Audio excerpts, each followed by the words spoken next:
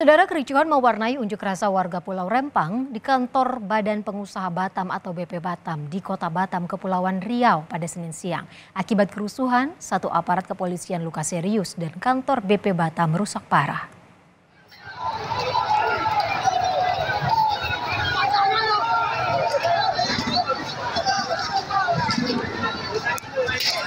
Kericuhan berawal saat keinginan masa untuk bisa bertemu kepala BP Batam tidak diakomodasi. Masa akhirnya melempari kantor BP Batam hingga kaca-kaca di kantor BP Batam pecah.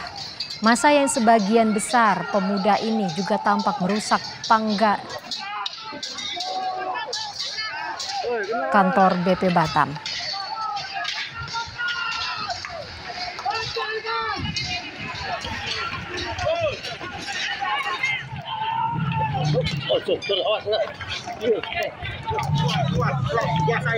Aksi anarkistis masa ini akhirnya mampu diredam aparat gabungan. Masa bisa dipaksa mundur dengan menggunakan meriam air dan gas air mata. Saat ini, aparat masih mengamankan lokasi sekitar kantor BP Batam untuk menjaga situasi tetap kondusif. Akibat kerusuhan, satu aparat kepolisian luka serius dan kantor BP Batam rusak parah. Sejauh ini belum ada keterangan dari pihak kepolisian dan instansi terkait akibat kericuhan ini. Bentar kita dulu, mati kita sebentar. Oh,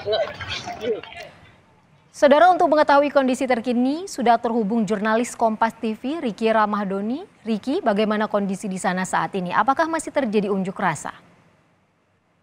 Ya, info situasi saat ini pasca kericuhan masa para demo Pulau Rempang ini pada siang tadi di kantor BP Batam. Nah, situasi saat ini sudah mulai kondusif. Petugas uh, gabungan baik itu dari kepolisian, TNI, dan Satpol PP sudah mengamankan lokasi. Sementara untuk masa yang sempat membuat anarkis tadi sudah diatasi oleh petugas menjadi tiga kelompok sehingga masa sudah pelan-pelan membubarkan diri.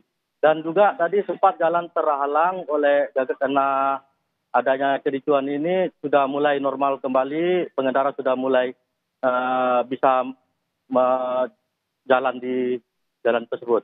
Ya, info. Artinya sudah tidak ada para pengunjuk rasa yang berada di sana, Ricky? Ya, info untuk saat ini sudah tidak ada lagi masa sudah mulai uh, kembali sudah mundur dan juga aparat sudah mulai juga mengamankan situasi sehingga tidak ada lagi terjadi kericuhan kembali info. Cuman di lokasi saya ini terpaksa memakai pas kayak gini karena suasana gas air mata masih lumayan di lokasi info. Mungkin bisa dijelaskan kembali apa yang menjadi tuntutan para pengunjuk rasa ini, Ricky?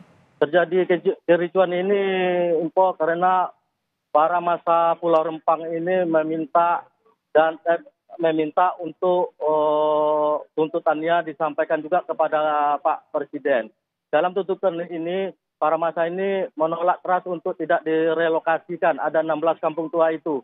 Kalau untuk mau pengembang adanya investasi, silakan. Tapi untuk kampung tua sendiri yang 16 itu jangan dipindahkan. Mereka menolak itu. Dan ada juga faktor lainnya tuntutan uh, info yang belum dipenuhi. Sehingga mereka tidak puas dengan para instansi terkait jawabannya tadi info sehingga para masa ini terpaksa melakukan anarkis untuk supaya tuntutan itu bisa didengarin.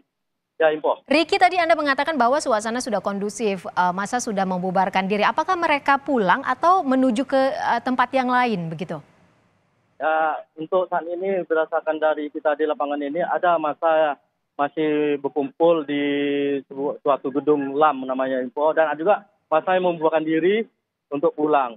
Nah, untuk sepenuhnya untuk mempulang diri belum ada. Karena ada beberapa masa juga diamankan oleh pihak kepolisian info. Baik, terima kasih informasinya jurnalis Kompas TV Riki Ramadoni melaporkan langsung dari Batam, Kepulauan Riau.